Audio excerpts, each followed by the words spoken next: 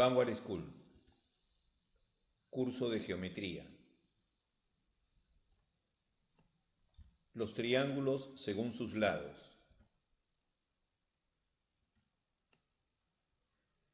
En este video tutorial examinaremos los triángulos y le asignaremos los nombres de acuerdo a sus lados.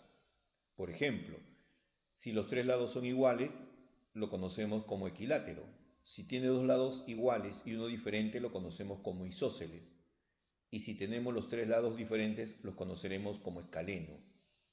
Cabe mencionar que si es un triángulo equilátero, sus tres ángulos internos son iguales. Si es triángulo isósceles, los ángulos de la base son iguales y solo tiene un ángulo diferente.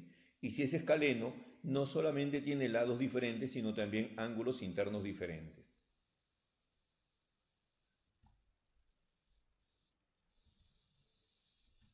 Los triángulos según sus lados. Un triángulo lo denominaremos equilátero si tiene los tres lados iguales, pero al mismo tiempo en un triángulo equilátero los ángulos internos tienen la misma proporción o equivalencia. Por lo tanto, los ángulos internos de un triángulo equilátero, cada uno de ellos mide 60 grados. ¿Qué sucede con un triángulo isósceles? Un triángulo isósceles tiene dos lados iguales y uno diferente. Como puedes observar en la figura, los ángulos A y C, que están representados por alfa y beta, son los ángulos de la base del triángulo. Estos ángulos van a tener el mismo valor. Es una característica muy importante cuando tenemos que resolver algunos ejercicios donde implica el triángulo isósceles. Triángulo escaleno. El triángulo escaleno es aquel triángulo donde todos sus lados son diferentes. AB es diferente a BC y BC es diferente a AC. Y por consiguiente, los ángulos internos también son diferentes. El ángulo A, ángulo B y ángulo C son diferentes, que están representados por alfa, beta y teta. Estos son los conceptos previos que debemos de conocer para poder resolver el tema del día de hoy.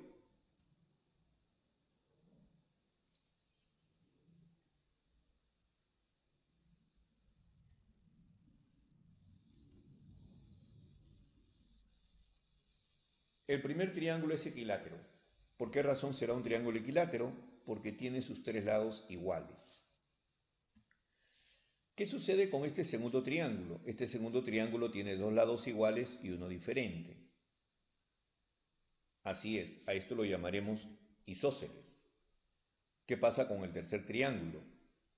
El tercer triángulo tiene tres lados diferentes, por lo tanto lo llamaremos escaleno.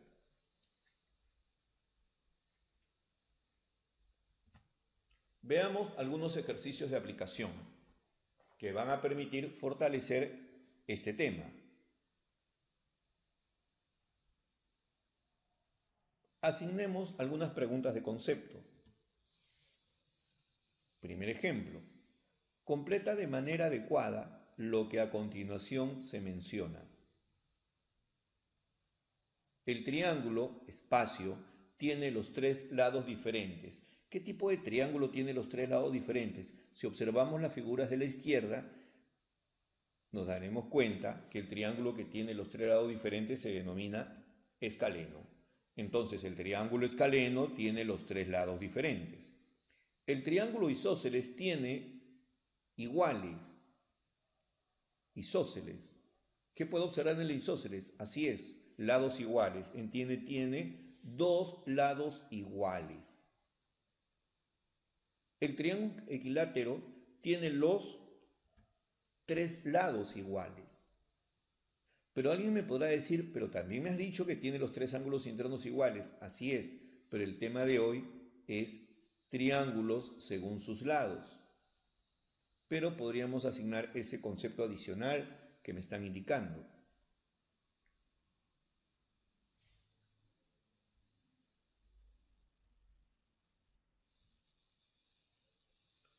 Siguiente ejercicio.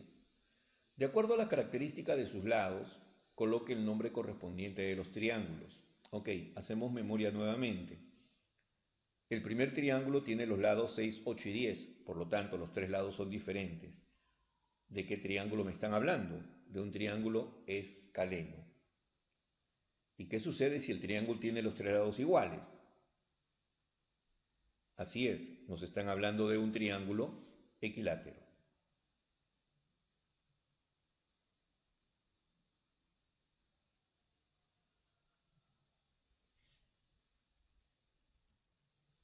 Número 3.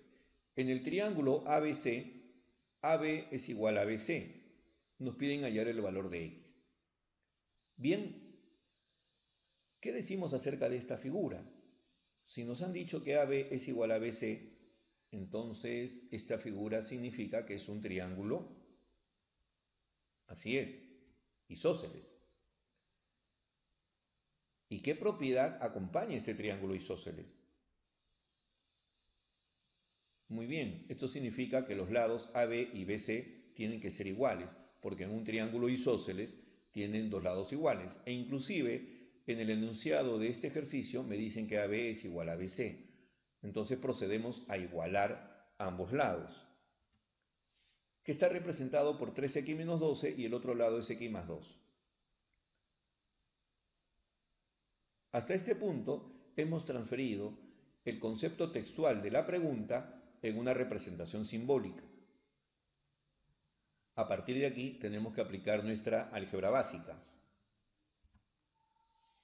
Despejamos las variables para un lado y las constantes hacia el otro, manteniendo los cambios de signos.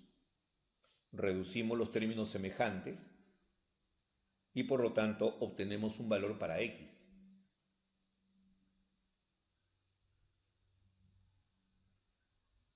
Para poder dar solución a este ejercicio, teníamos que tener el concepto de lo que era un triángulo isósceles.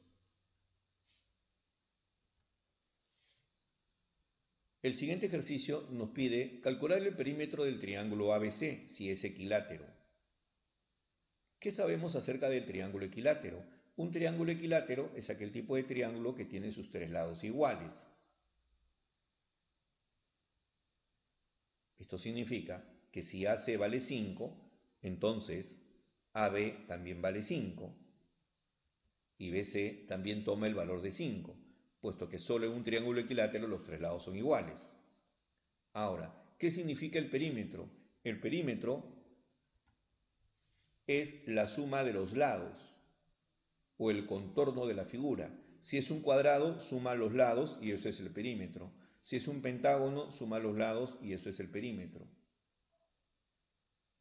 No te olvides, el perímetro es el contorno de la figura. Por lo tanto, la respuesta a este ejercicio tendría que ser 15. Entonces, para este tema debemos de conocer qué es un triángulo equilátero, qué es un triángulo isósceles y qué es un triángulo escaleno, y qué propiedades acompañan a estos triángulos, que están siendo definidos de acuerdo a sus lados. Adicionalmente, debemos de tener conocimiento de perímetros. Y en los siguientes ejercicios vamos a observar el teorema de Pitágoras. Ejercicio número 5. El triángulo mostrado es escaleno. Indique si es verdadero B o falso F, lo que a continuación se menciona. Para comenzar, un triángulo escaleno es aquel que tiene sus tres lados diferentes y sus ángulos internos diferentes. Ese es nuestro punto principal de partida. Entonces, la primera proposición me dice alfa es igual a beta y beta es igual a teta. ¿Qué me está indicando ahí? Que los tres ángulos son iguales y eso no puede suceder en un triángulo escaleno. Por lo tanto, la primera proposición es falsa. Luego me dice que alfa es diferente de beta y beta es diferente de teta. Esto me está explicando que los tres ángulos internos son diferentes. Esto sí puede suceder en un triángulo escaleno. Verdadero. Luego nos dice que el lado A es igual al lado B y es igual al lado C. Bueno, un triángulo escaleno no tiene tres lados iguales. Quien lo tiene es un equilátero. Por lo tanto, esta afirmación tendría que ser falsa. Y en la última nos dice que el lado A es diferente al lado B y diferente al lado C. Ok, es todo lo contrario de la proposición anterior, por lo tanto sería un verdadero. Claro, en un triángulo escaleno los tres lados son diferentes. Como puedes observar, necesitamos los conceptos básicos para poder observar estos ejercicios y poder dar la respuesta adecuada.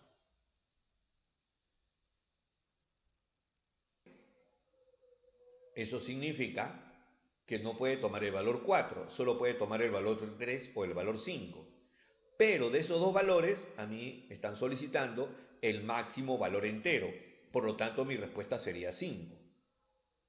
Entonces, observa, no solo estamos desarrollando el ejercicio de manera aplicativa, sino que también estamos razonando para poder dar la respuesta adecuada. Así es, continuemos con el siguiente ejercicio. Dice, del problema anterior, indique el valor entero que toma x para que el triángulo sea isósceles. Ah, ya pues. ¿Qué valor entero puede tomar? Para que sea isósceles, x tiene que ser 4 y esa respuesta la teníamos del caso anterior. Veamos el ejercicio 12.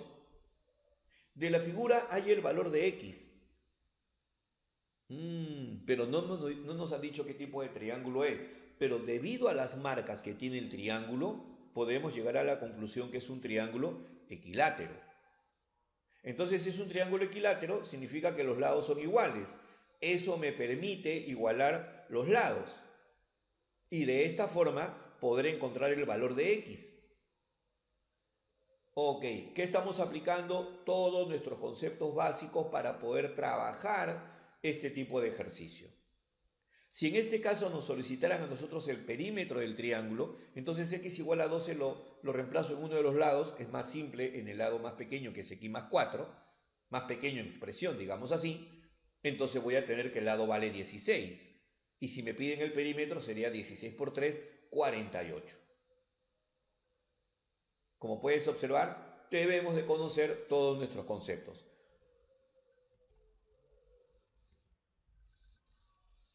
Por ejemplo, acá dice, relaciona de manera adecuada los datos de ambas columnas.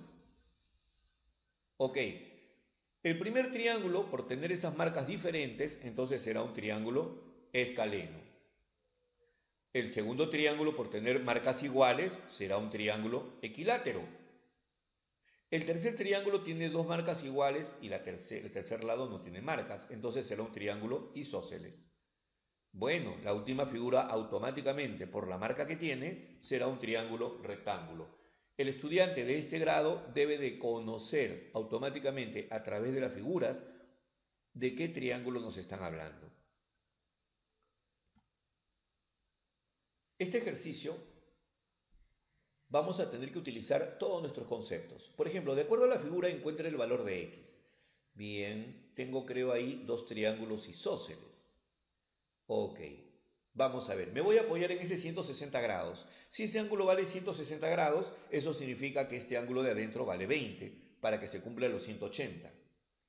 Entonces, eso nos va a ayudar que en ese triángulo voy a tener un triángulo isósceles, por lo tanto este ángulo también, por ser triángulo isósceles, vale 20. Y según un concepto manejado en, triángulos, me dice que la, la, suma de dos ángulos internos es un externo, lo cual indica que esto vale 40. Y en este último triángulo, que también es isósceles, este ángulo también vale 40. Y por propiedad fundamental, si en ese triángulo ya tengo 80 grados, para llegar a 180 grados, x tiene que tomar el valor de 100 grados. Como puedes observar, no hemos necesitado efectuar grandes cálculos, solo estamos utilizando nuestros conceptos fundamentales. Sigamos. Ejercicio 15 de este grupo. Nos dice, de la figura calcula el valor de x. Creo que guarda mucha relación con el ejercicio anterior. Y decimos lo siguiente, si esto vale x y el de abajo vale 20, entonces este ángulo también vale x. ¿Estamos de acuerdo? Porque estamos hablando de un triángulo isósceles. Ah, ya. Entonces en ese triangulito, donde tengo 20 grados por un lado y x, x en el otro, podría decirte que 2x es igual a 160. Para que con el 20 grados se convierta en 180. Y por lo tanto, x toma el valor de 80. Listo, entonces esto es lo que se debe de cumplir. Y como puedes observar nuevamente, estamos utilizando nuestros conceptos fundamentales para darle solución a una situación que se presenta como esta. Observemos, tenemos aquí un grupo de ejercicios, lo cual me va a permitir reforzar lo aprendido, donde tenemos que aplicar muchos detalles anteriores.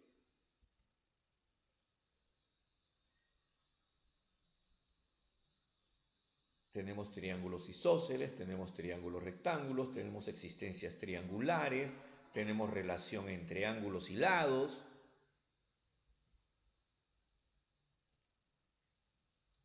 Y por último tendremos algunos cálculos para aplicar nuestros conceptos generales. Bien, eso sería todo en este tema. Nos vemos hasta el siguiente video tutorial.